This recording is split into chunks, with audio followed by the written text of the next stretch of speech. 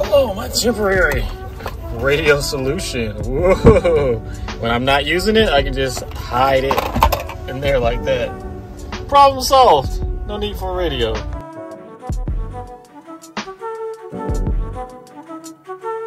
All right, so for those of y'all that follow us on IG, you've already seen the uh, incredible vehicle that Uncle, not Uncle Mitch, Brother Mitch has purchased. And uh, the other day when we were test driving that vehicle and like, you know, checking it out before he bought it, it had an awesome factory system in it and it had this little ics uh, mobile solutions. I forget the name of the company. Rail up here where you could put your phones and do all that kind of stuff. And it really got me to thinking like dang my land cruiser is in need of a massive upgrade. And i didn't know if i was initially going to be keeping this car but now that i've fallen so deeply back in love with land cruisers i'm not ever letting go of this car. So i'm going to update the stereo now my temporary solution, it's kind of hilarious. My temporary solution was the radio that came with it that had a shortage that I fixed myself. And uh, it didn't have Bluetooth. So I just kind of like did some like uh, finagling and I added this little Bluetooth dongle adapter to the radio because the one that came with this radio we got lost, I guess, years ago. And I've been having this thing plugged in with the wires and all this kind of stuff ever since. But it's a horrible, horrible workaround. So I'm going to do something better now. Knife. Yeah. Voila. The ATOTO double din in-dash car entertainment stereo. This was the cheapest and highest reviewed uh, entertainment unit that I saw on the Amazon. So I'm going to install it, drive around with it, and uh, tell y'all what I think about it.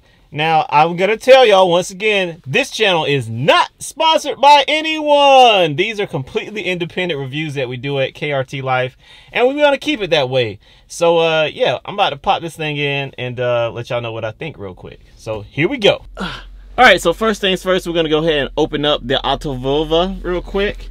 And uh, it comes with a lot of features already built into it. Android, Apple CarPlay, supposedly has a massive screen supposedly really easy to install. Comes in a very tiny box. Let's go ahead and open this thing up see what it looks like. Now, now a lot of these features let me just preface this. A lot of these features i am not going to be installing today. I'm just trying to plug this thing up and get some tunes going through my car that sound halfway decent. So it comes with all the literature. Yeah look how narrow radios are nowadays. That's really really cool. All right so i'm about to peel this off pop this in and we're gonna see what happens all right, and voila, just like that. I have removed this bit, and if you own a 100 series, you know this is super easy to pop out. No problems there. Impact! Pop, pop, pop, pop, pop, pop, pop. I ran a USB cable that I never used for this radio because it didn't charge, and it also wasn't compatible with my phone. All the way through the dash. That's the only thing making it hard to take this radio out. Old radio is out. Old radio is out want to cut my seats any more than they already cut. All right. So I was just fiddling around trying to figure out how I wanted to install this.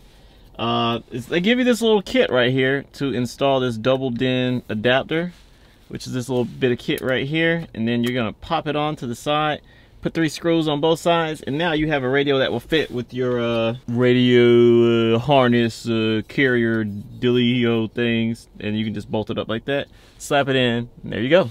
Alright, so not quite as plug and play as I hoped. I need to unsolder these connections and then connect these three uh, cables, the constant, the uh, switch, and the uh, negative to this right here, and then it'll work. Yay! Alright, so the radio is in there, and this thing is pretty darn awesome. So now I'm about to go ahead and test it for a day or two and let y'all know what I really think about this thing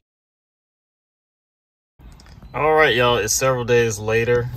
As you can tell by my haircut and i hate making inconclusive vlogs but i'm in a state of uh i'm in a stalemate with this one right now i guess i should say. But i guess just in case i'll go ahead and talk about everything that's going on with this radio right now.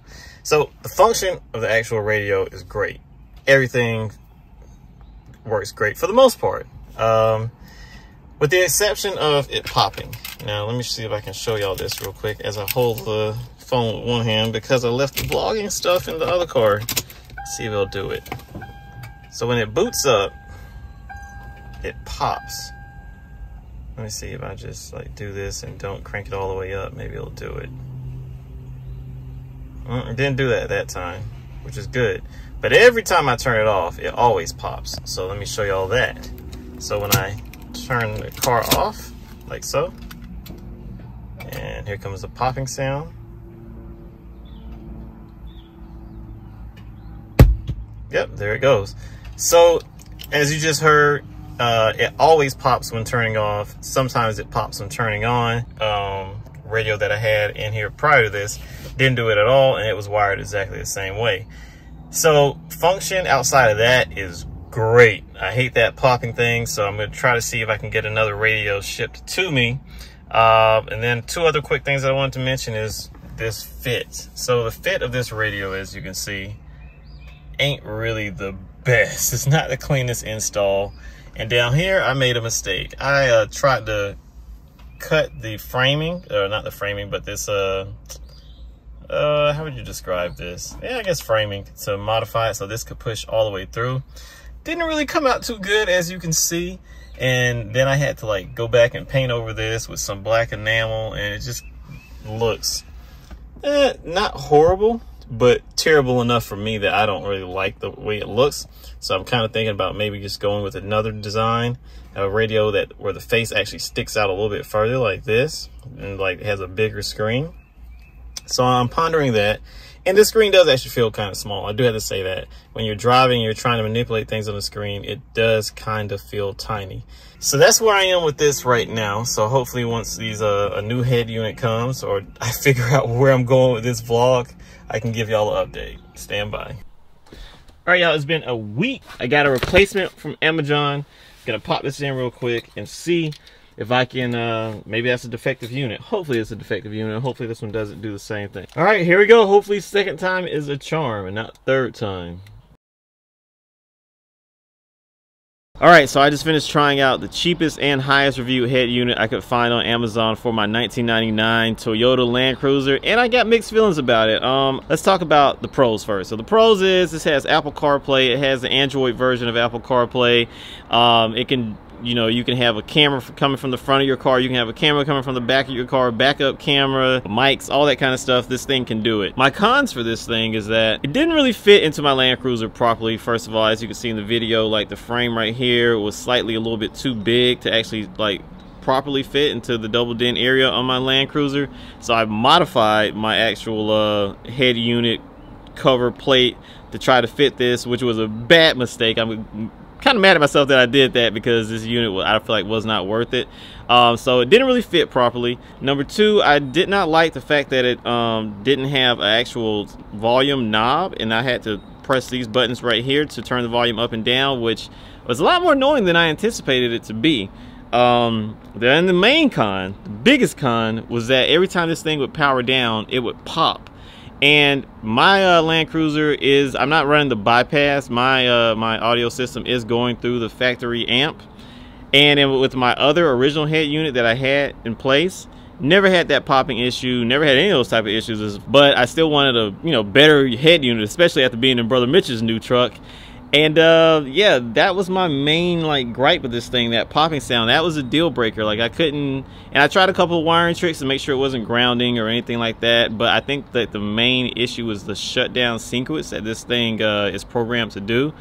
And I think that because it like has this long pause between when you turn the car off and it actually shutting down, I think like you know the capacitors inside of the uh, um, the amp they just have that power stored and then they just make this popping sound and I think it has a lot to do with the way that this thing shuts down. That's just my theoretical analysis. Don't really know if that's true or not. If you have any uh, information out there, you know, that you could clarify a little bit more, that would be great. But yeah, so I'm not really 100% impressed with this radio as far as like, you know, the fit and the function of it. But the software is great. I will say that. Like the software a lot. So I'm going to be shopping for another radio and trying to figure out what I'm going to put in my Land Cruiser because I did realize that, you know, having that radio in there from the 80s is not the move, and I definitely need to put something better in there. So I'm your brother Reza, KRT LYFE, KRT LYFE for the Y. Like, subscribe, comment, all of that. And uh, yeah, this is a pretty good radio, and it might work for your application. It just didn't really work too good for mine. See y'all in the next vlog. Peace.